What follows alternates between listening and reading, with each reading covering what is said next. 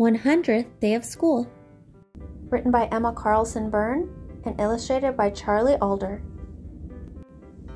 100 days is a lot of learning. That is why students and their teachers celebrate the 100th day of school. This day is usually in January or February. Students bring in 100 small objects. They might eat 100 tiny snacks. On the 100th day of school, students might do a math lesson about counting to 100. They might read a book about a little girl who has 100 dresses.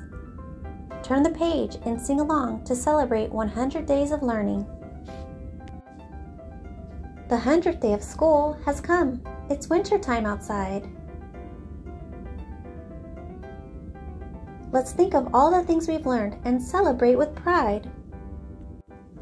We studied hard and learned together for 100 days. We listened to our teachers and now it's time to play. Our teacher gave us homework. Bring in 100 things.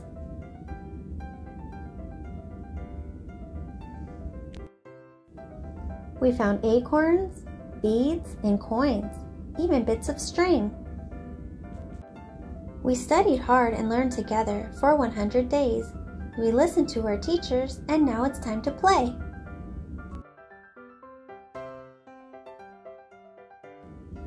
We have raisins for our snack today. Into the bowl we reach. We scoop them out in bunches and count 100 each.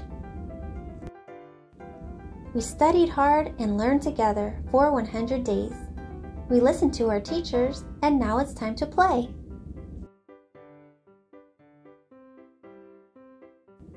The party isn't over yet. Our teacher says, Math time! We count up to 100 with pennies, nickels, and dimes. We studied hard and learned together for 100 days. We listened to our teachers, and now it's time to play.